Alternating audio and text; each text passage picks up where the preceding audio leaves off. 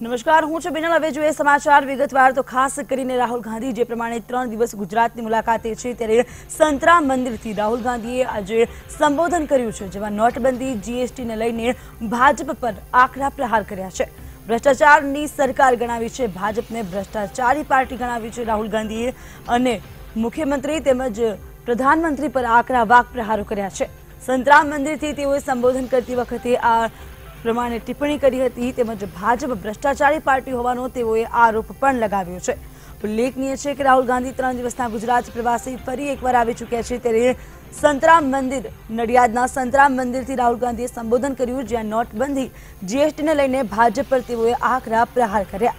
ભાજપને ભ્રષ્ટાચારી પાર્ટી ગણાવી હતી તેઓએ અને આકરા પ્રહારો કર્યા હતા. ત્યારે રાહુલ ગાંધીની આજે મુલાકાત છે, જેમાં ખૂબ જ આ મુલાકાતને મહત્વની માનવામાં આવી રહી છે અને ખાસ કરીને જે કોંગ્રેસના કાર્યકર્તાઓ છે, સ્થાનિક નેતાઓ છે, નડિયાદના, તે તમામ લોકોમાં હાલ આનંદ જોવા મળી રહ્યો છે.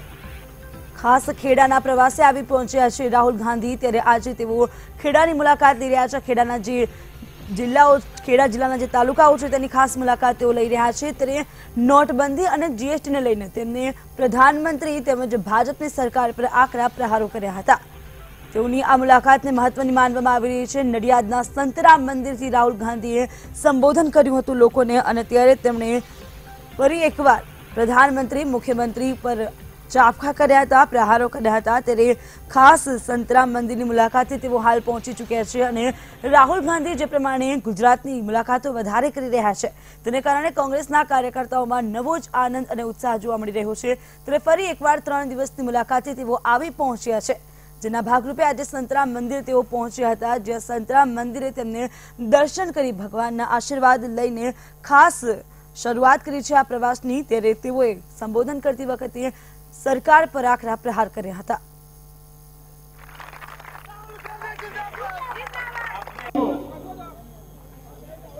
गांधी जी ने गुजरात के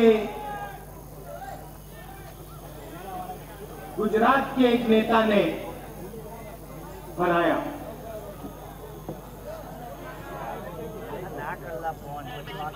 अभी मैं अंदर गुरुजी से बात कर रहा था। नहीं, सुनो सुनो। अंदर मैं गुरुजी से बात कर रहा था। बहुत अच्छा लगा। ये हमारे देश का इतिहास है। और उन्होंने बोला दो तीन सवाल मैंने पूछे और उन्होंने बोला कि ये जो उनका मंदिर है ये सबके लिए काम करता है। ये मुफ़्त में स्वास्थ्य का काम दादू शिक्षा का काम करता है। और उन्होंने कहा कि इस मंदिर में कोई भी अंदर आ सकता है। चाहे वो गरीब हो, अमीर हो, कोई भी अंदर आ सकता है, और सबकी हम यहाँ मदद करते हैं। सही बात है ना? और यही हमारी परंपरा है, हमारे देश की परंपरा है, और धर्म की भी यही परंपरा है। तो जब वो मुझे कह रहे थे, मेरे दिमाग में एक सवाल उठा कि अजीब सी बात है।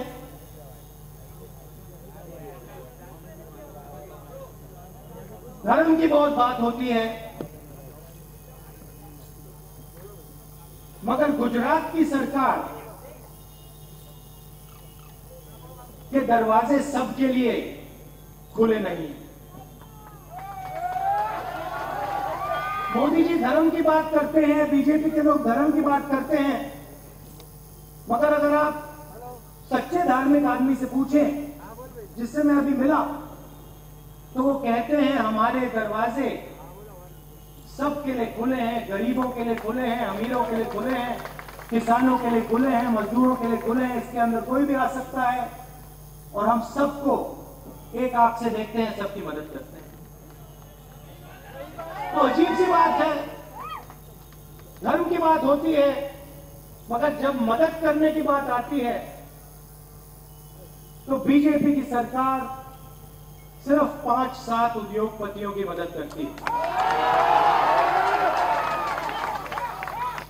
वोट लेने के लिए धर्म की बात, मगर जैसे काम करने का समय आता है तो धर्म को भूल जाते हैं। और दूसरी बात चालू हो जाती कल अखबार में आया। भ्रष्टाचार की बात करते हैं। कल अखबार में आया कि अमित शाह जी के